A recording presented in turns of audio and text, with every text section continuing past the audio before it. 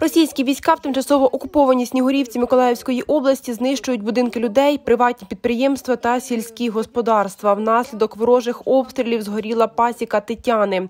Їй вдалося в перші дні повномасштабного вторгнення виїхати з Миколаєва. Утім, залишилась без єдиного джерела прибутку та тепер мусить виживати на мінімальну пенсію. У меня было 30 семей, э, пас, была пасека 30 семей. И 50 уликов, это просто уликов пустых. Это ящики такие, улья пустые. И прицеп для перевозки пчел в летнее время с места на место. Ну, с 1 на 2 апреля мою пасеку спалили. Ну, спалили как? Прибои, русские спалили мне пасеку. Сгорело все. Остался один вот колышек. Все сгорело в щент.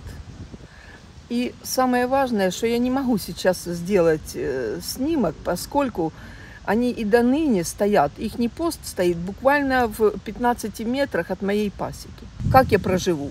Я специально занималась, а сколько у меня было сил, занималась пчелами, ну, чтобы был у меня какой-то достаток, чтобы не просить в государстве.